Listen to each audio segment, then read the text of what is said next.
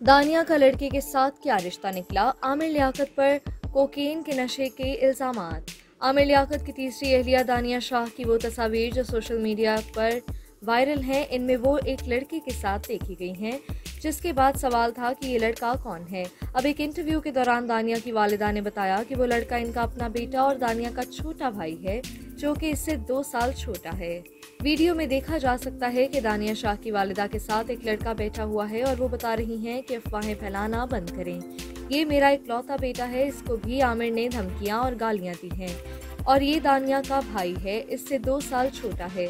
हमें पैसों की ज़रूरत नहीं, बस इज़्ज़त चाहिए। इनका कहना था कि अगर आमिर लियाकत इज़्ज़त वाला होता तो इसका हर जुल्म बर्दाश्त करते और ये केस भी ना करते।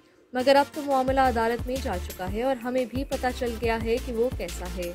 याद रहे कि इससे कबल भी दानिया के एक इंटरव्यू की वीडियो वायरल हुई थी, जिसमें दानिया शाह ने आमिर लियाकत हुसैन के नशे की लत में मुबतला होने से मुतालिक इंकशाफ करते हुए दावा किया कि आमिर लियाकत को उनकी दूसरी अहलिया तूबा अनवर ने नशे पर लगाया था। दानिया ने कहा कि मुझे आमिर लियाकत ने बताया था कि इसने जब तूबा से शादी की थी, तब से नशा करते हैं। खातून ने दावा किया कि उनके पास आमिर लियाकत के नशे से मुतालिक दिए गए बयान की वीडियो सबूत भी मौजूद है। उन्होंने अपने इंटरव्यू के दौरान आमिर लियाकत का नशा बनाने का तरीका भी बताया। दानिया ने कहा कि आमिर लियाकत कोकेन कोकेन करता रहता था, नशे की हालत में रहता था, अपने मुलाजिमों से नशा मंगवाता था।